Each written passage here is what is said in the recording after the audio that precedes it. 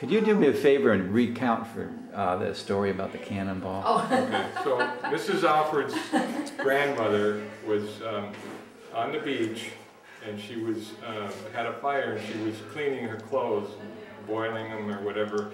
And the, the British ships were off the, the Ashta, off of Ashtabula. And then she left for a while, but in the meantime, she had heard several cannons go off.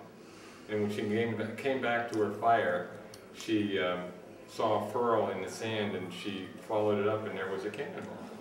And she still had it. She still had the I- I don't cannonball. recall it. like yours. Right Which here. is a cannonball.